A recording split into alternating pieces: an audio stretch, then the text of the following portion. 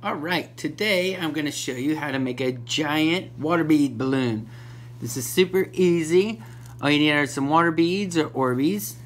I like the larger 4 millimeter type.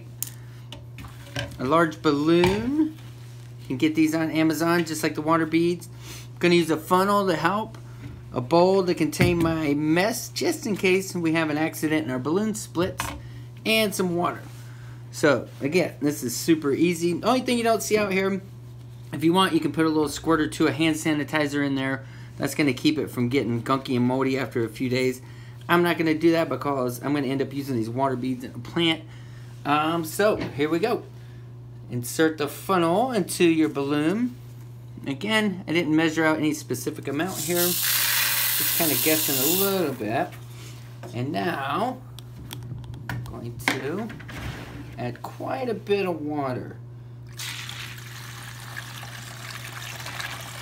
So I have a gallon here. I don't know if I'm going to do the whole thing. a little mess. Alright. I can see that my balloon's getting full. Alright.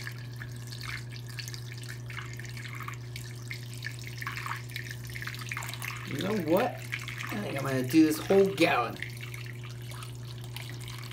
Oh, starting to get a little leaked over. I didn't quite get the whole gallon in there. All right, gonna remove the funnel, tie this off, and we'll check back later and see if we can start seeing our beads absorb the water. And hopefully it works out and we have a giant water bead balloon. All right, this is actually two days later. I wasn't able to get in yesterday, but our water bead balloon has grown significantly. It's really heavy. Remember, we put a gallon of water in this thing. So this is what it looks like. It feels really cool, really weird. You can see the way that all the water beads kind of move around in there. Uh, it's just a fun thing. Really cool to see the uh, water beads, how they expand. And like I said, after I'm done playing with this, I'm going to open this up and use these water beads to uh, maybe do some other experiments. Alright, that's it. Jumbo water bead balloon.